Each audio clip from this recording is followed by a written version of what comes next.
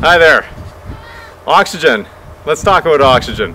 Its molecular weight is 31.99. Its boiling point is minus, that's minus, 183 degrees Celsius.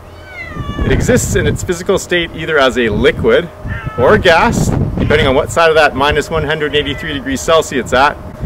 This is the cool thing, it expands 860 times as it converts from a liquid to a gas. It's non-flammable, it supports combustion, so it means it's not going to explode, but if there's a fire, it'll increase the intensity of that fire. It's also odorless, tasteless, and colorless. Therefore, you can't see it, you can't taste it, and you can't smell it.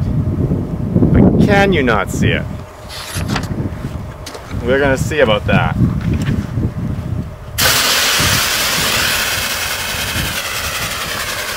Oxygen, see how it vaporizes and changes.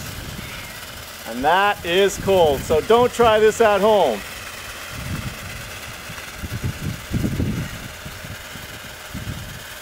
Zoom in on those droplets there.